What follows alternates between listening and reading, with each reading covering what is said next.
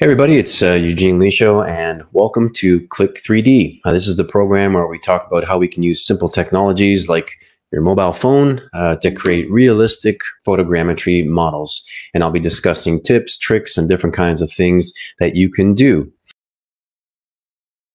It's a great tool um, if you need to move quick, and that's really the benefit.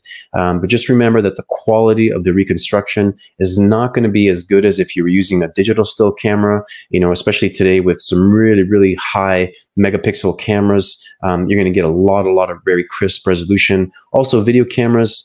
Um, you know, again, resolution, you know, there are 4K video cameras nowadays, not too bad, but a lot of them don't record at, uh, you know, 120 frames or 240 frames a second. So if you move up to those kinds of frame rates, then you can expect to get down to about, you know, 19, you know, 1920 by 1080, or in some cases, if you have a 2.7K video, you'll probably get down to about uh, 60 frames per second. Uh, hopefully you learned something with respect to video and we'll see you next time on Click 3D. Thanks a lot. Bye-bye.